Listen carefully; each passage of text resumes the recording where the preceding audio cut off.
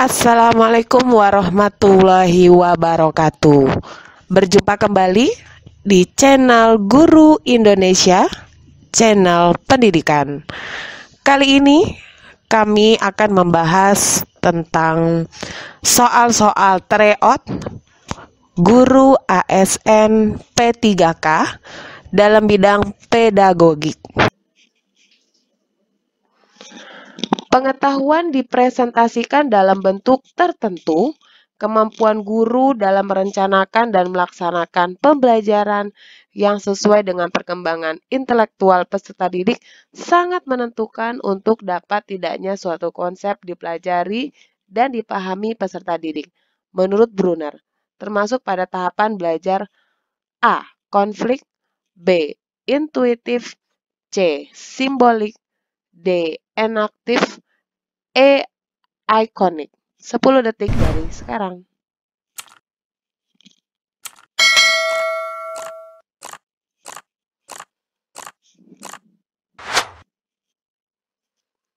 Ya, tepat sekali. Jawabannya adalah C. Simbolik. Manakah indikator yang sesuai untuk soal berikut? Perhatikan data tentang kegemaran peserta didik berolahraga di sekolah sebagaimana gambar di samping dengan derajat tertentu. Jika banyaknya peserta didik seluruhnya 180 orang, maka siswa yang gemar bersepeda adalah Oke, mana indikator yang sesuai untuk soal tersebut ya? A.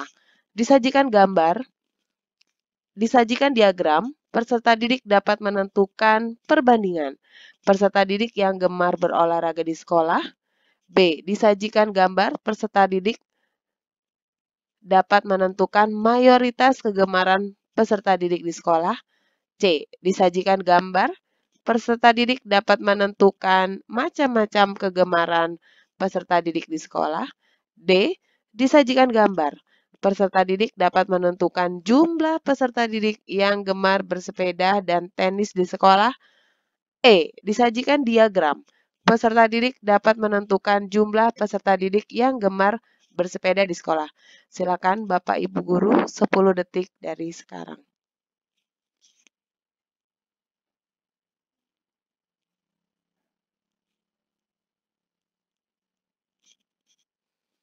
Ya, tepat sekali. Jawabannya adalah A. Disajikan diagram. Peserta didik dapat menentukan perbandingan peserta didik yang gemar berolahraga di sekolah. Desain pembelajaran memberikan keleluasaan kepada guru dalam menganalisis potensi awal peserta didik dalam merancang pembelajaran dengan memperhatikan keragaman potensi peserta didik adalah A. Karakteristik B. Pengetahuan awal C.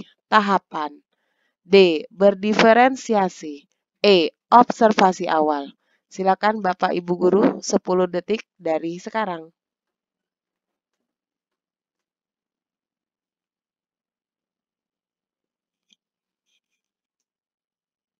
Ya, tepat sekali. Jawabannya adalah B. Pengetahuan awal. Ibu Susanti memberikan gaya belajar yang visual kepada peserta didiknya yaitu dengan menggunakan A. Media komik pembelajaran, tanya jawab, dan buku. B. Metode ceramah, diskusi. C. Program audio, buku, dan modul. D. Video, buku, dan PowerPoint. E. Media audio, video, dan percobaan. Silakan 10 detik dari sekarang.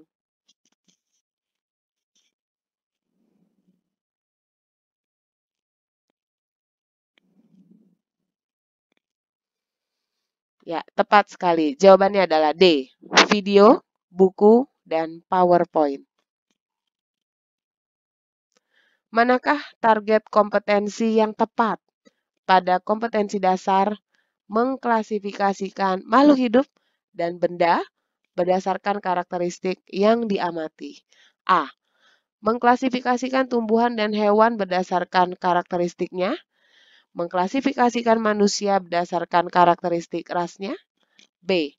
Mengklasifikasikan makhluk hidup dan benda berdasarkan karakteristik yang diamati dan membedakan makhluk hidup berdasarkan lingkungan hidupnya. C. Mengklasifikasikan makhluk hidup berdasarkan karakteristik yang diamati dan mengklasifikasikan benda berdasarkan karakteristik yang diamati. D. Menjelaskan makhluk hidup dan benda berdasarkan karakteristik yang diamati dan mengklasifikasikan tumbuhan dan hewan berdasarkan karakteristik yang diamati. E. Menjelaskan tumbuhan berdasarkan karakteristik yang diamati dan menjelaskan hewan berdasarkan karakteristik yang diamati.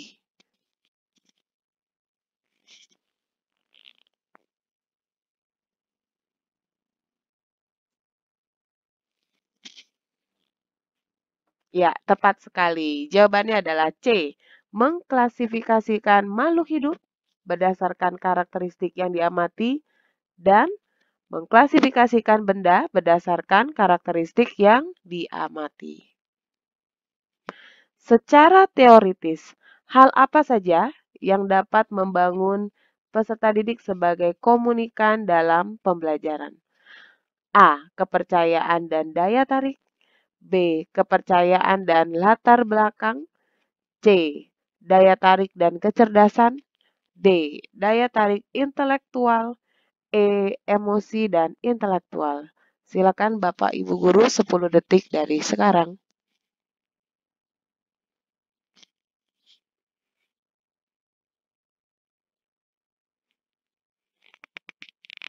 Ya, tepat sekali. Jawabannya adalah A. Kepercayaan dan daya tarik. Pak Adit seorang guru SMP kelas 10 ketika melakukan proses pembelajaran menghadapi peserta didik yang berasal dari berbagai latar belakang kondisi keluarga. Seperti ada yang berasal dari keluarga kurang mampu, kurang mampu, yang orang tuanya menjadi pejabat atau sebagai buruh atau pegawai swasta.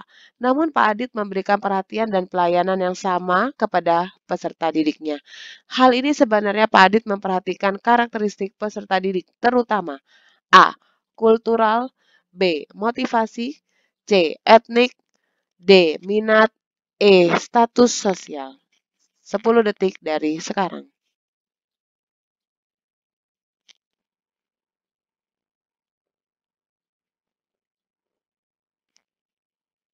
Ya, tepat sekali. Jawabannya adalah E, status sosial. Langkah seorang guru dalam merangsang peserta didik untuk mengerjakan soal di depan kelas agar peserta didik merasa tertantang adalah dengan A. Memberikan pujian kepada peserta didik yang mengerjakan soal. B. Mengembangkan keberanian peserta didik dalam menjawab soal. C. Memberikan hadiah setelah mengerjakan soal. D. Memberikan nilai lebih dalam pembelajaran. E. Memberikan hukuman bagi peserta didik yang menjawab salah. 10 detik dari sekarang.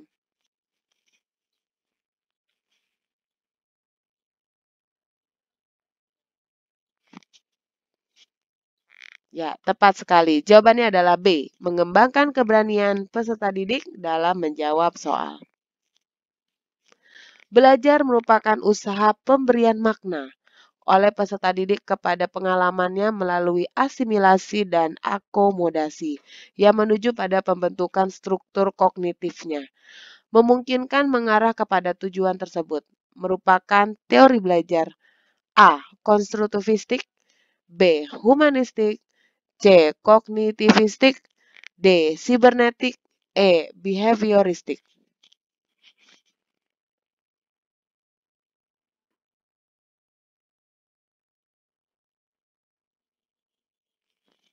Ya, tepat sekali. Jawabannya adalah C, kognitivistik. Perhatikan pernyataan berikut. 1. Keterampilan kolaborasi dan interpersonal. 2. Tanggung jawab pribadi dan sosial. 3. Komunikasi interaktif. Sebagai bagian dari keterampilan Engage abad ke-21, pernyataan tersebut merupakan ciri-ciri dari A efficiency learning, B. effective communication, C. digital age literacy, D. Inventive thinking E. High productivity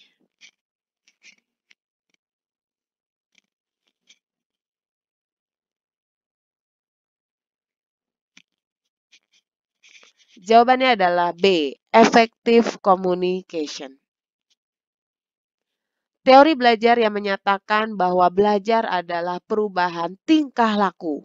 Seseorang dianggap belajar jika ia telah mampu menunjukkan perubahan tingkah laku. Pentingnya masukan atau input yang berupa stimulus dan keluaran atau output yang berupa respon A. Rekonstruktivistik B. Behavioristik C. Kognitivistik D. Humanistik E. Konstruktivistik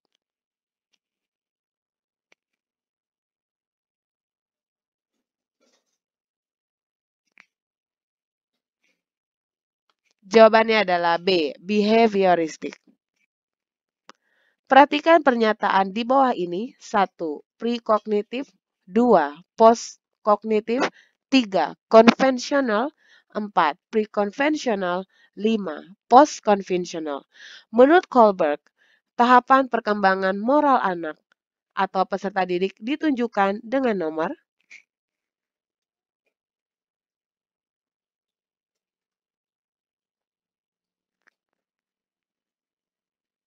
Jawabannya adalah D, 3, 4, dan 5.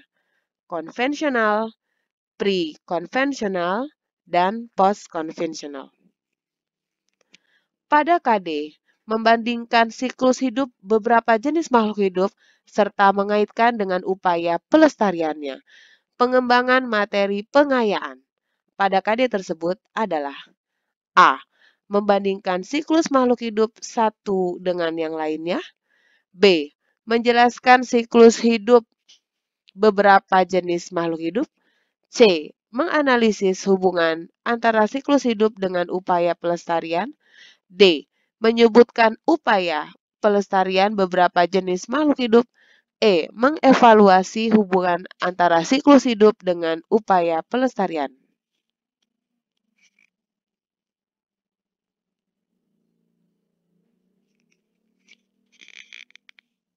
Ya, jawabannya adalah E. Mengevaluasi hubungan antara siklus hidup dengan upaya pelestarian. Perhatikan pernyataan berikut. Kemampuan untuk memprioritaskan, merencanakan, dan mengelola hasil. Penggunaan alat dunia nyata yang efektif, produk yang relevan dan berkualitas tinggi. Sebagai bagian dari keterampilan engage abad ke-21, pernyataan tersebut merupakan ciri-ciri dari A. High productivity B. Inventive thinking C. Effective communication D. Digital age literacy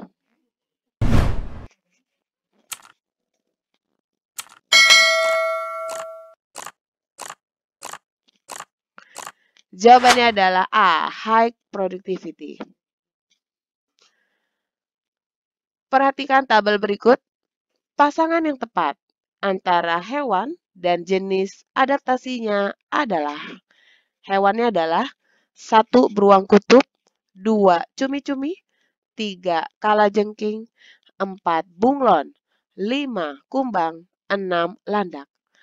Adaptasinya A. Mengeluarkan cairan tinta B. Pura-pura mati C. Memiliki rambut yang tebal D. Mengeluarkan racun dengan cara menyengat.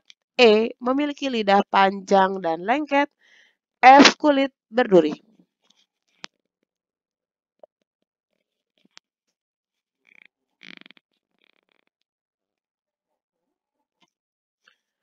Oke, jawabannya adalah A.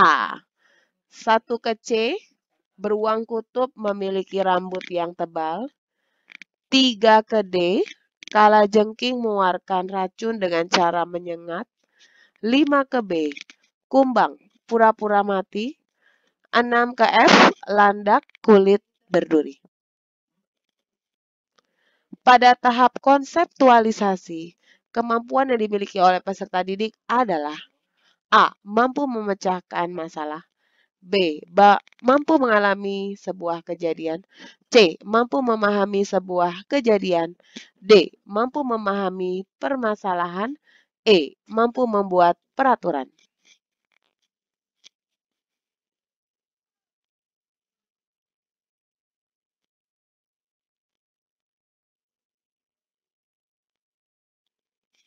Jawabannya adalah A. Mampu memecahkan masalah. Apabila dalam proses belajar peserta didik melakukan sesuatu sampai dengan mendapatkan respon yang tepat dan sesuai dengan apa yang diinginkan, serta menghilangkannya apabila dirasa tidak sesuai. Hal ini merupakan prinsip belajar dari A. Conditioning B. Konseptualisasi C. Trial and error D. Shaping E. Stimulus respon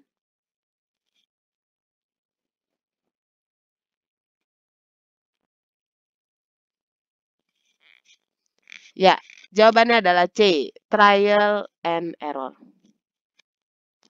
Pernyataan berikut yang menjelaskan makna istilah kognitif adalah A. Kemampuan untuk memecahkan masalah B. Kemampuan untuk mengintegrasikan diri C. Kemampuan mengemukakan pendapat D. Kemampuan berinteraksi E. Kemampuan berkomunikasi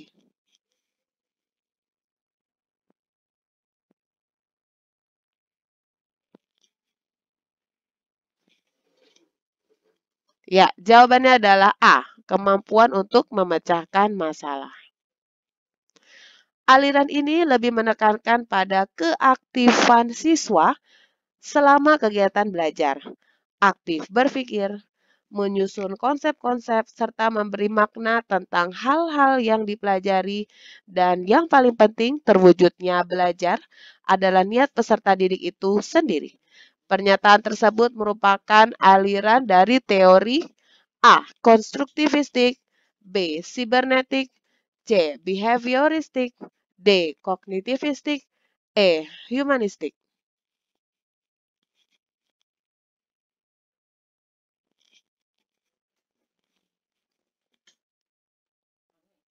Jawabannya adalah A. Konstruktivistik.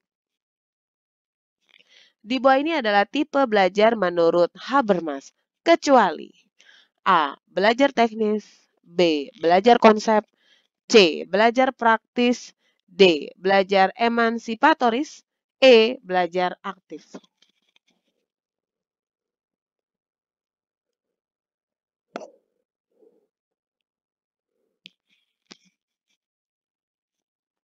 Jawabannya adalah E. Belajar aktif.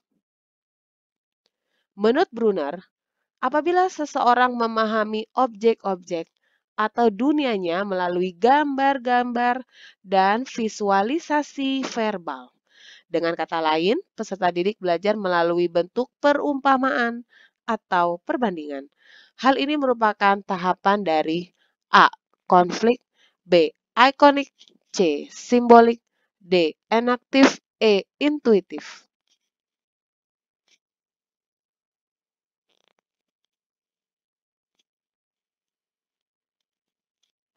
Jawabannya adalah B, iconic. Seluruh komponen pendidikan memiliki tujuan yang sama, yaitu terbentuknya manusia yang ideal, manusia yang dicita-citakan, yaitu manusia yang mampu mencapai aktualisasi diri. Pernyataan tersebut merupakan bagian dari teori A. Kognitivistik B. Humanistik C. Konstruktivistik D. Sibernetik E. Behavioristik.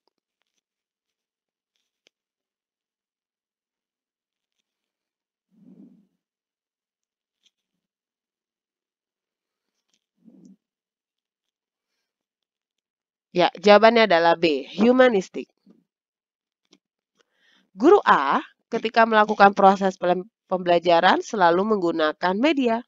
Kadang memutar video pembelajaran, kadang memutar CD audio, kadang menggunakan poster berwarna agar peserta didiknya memperhatikan dan tertarik terhadap apa yang dibahasnya serta senang mengikuti pelajarannya, sehingga hasilnya sangat baik. Pembelajaran dilakukan demikian karena pertimbangan A. Etnik peserta didik B. Abad 20 C.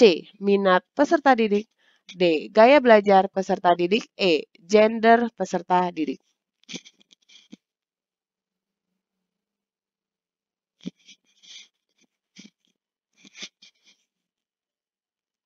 Jawabannya adalah C. Minat peserta didik. Pada saat pembelajaran berlangsung, guru mengingatkan peserta didik yang kurang semangat dan kurang aktif dalam belajar. Tindakan guru tersebut berarti memperhatikan aspek A. Status sosial B. Kultural C. Motivasi D. Sosial E. Kesulitan belajar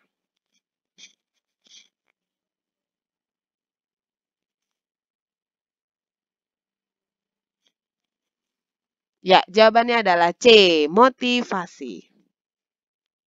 Pada zaman dahulu, anak berkebutuhan khusus dianggap sebagai beban dan dipengaruhi roh halus. Pendapat ini terjadi pada masa A. Abad pertengahan B. Abad 20 C. Akhir abad 19 D. Peradaban kuno D. Renesan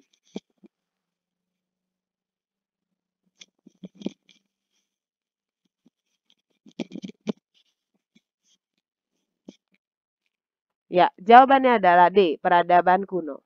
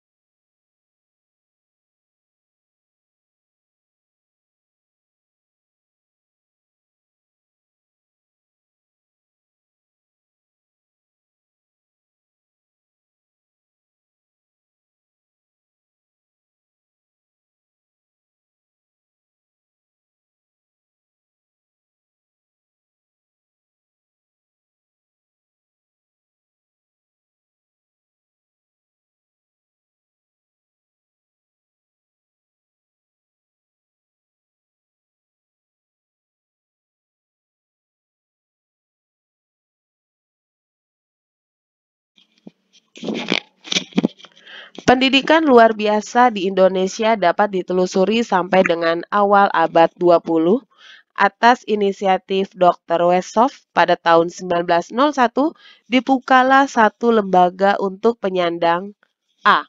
Gangguan penglihatan B. Kesulitan belajar C. Gangguan pendengaran D. Gangguan fisik dan motorik E. Gangguan intelektual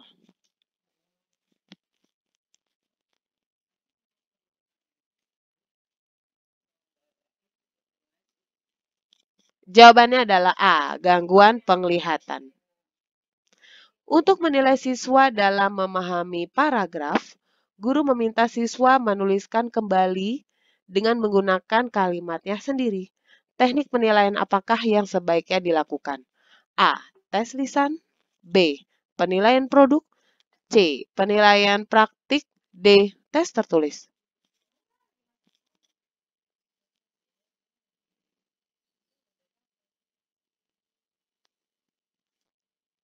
Jawabannya adalah D, tes tertulis.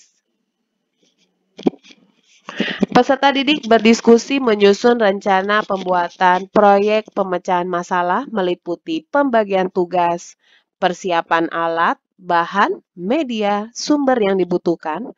Aktivitas pembelajaran di atas merupakan model project-based learning pada sintaks A. Memonitoring keaktifan dan pengembangan proyek B. Menyusun jadwal pembuatan C. Mendesain perencanaan produk D. Pertanyaan mendasar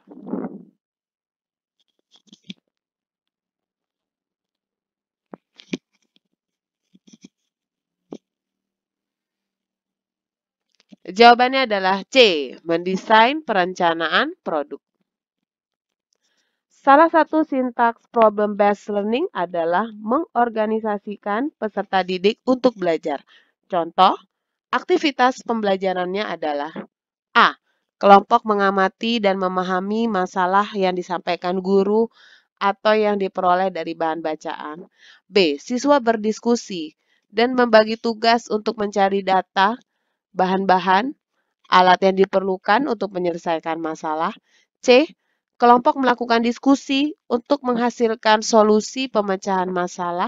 D. Siswa melakukan penyelidikan, mencari data, referensi, sumber untuk bahan diskusi.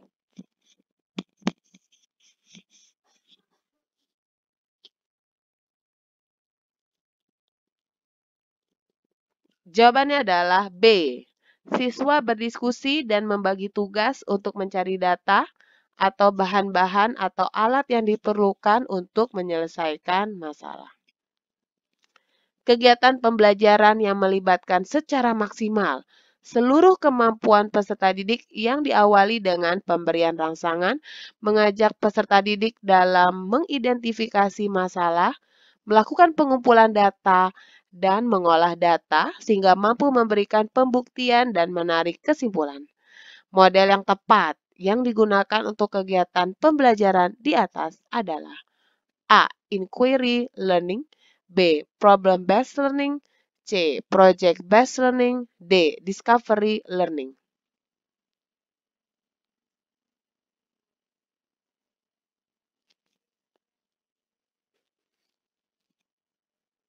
Jawabannya adalah D. Discovery Learning.